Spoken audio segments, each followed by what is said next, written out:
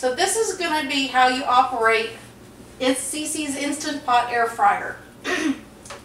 First of all, you need to plug it in. It's always going to be unplugged because that's what you're supposed to store it is unplugged. So you're going to plug it into the receptacle.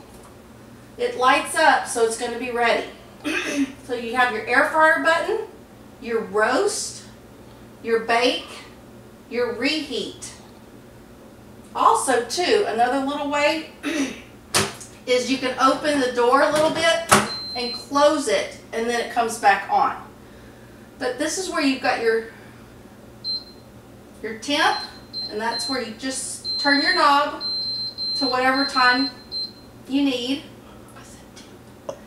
and your tip to whatever degree you want it at. So then you hit start.